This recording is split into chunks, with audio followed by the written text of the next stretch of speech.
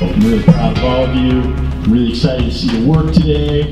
Have a freaking blast at the expo. Be thoughtful, be kind, be generous, love each other. The Senior Winter Expo is a school-wide event. Uh, it takes place instead of regular classes, so everybody today was out of class and the seniors put up their work, almost like they would if they were doing their uh, thesis it's this kind of run-through where they get to have experience doing that, they get to practice their presentation, um, and then everyone else in the school gets to give them feedback.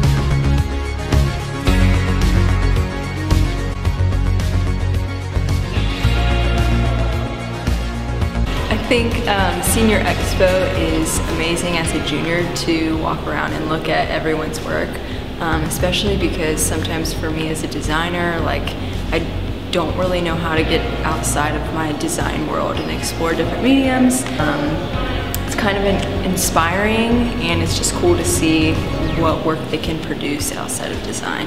Looking, looking at the seniors' work coming up makes me excited for what I'm going to be doing as a design um, major, and I'm really excited. Yay! You did great! Good job. Goodbye.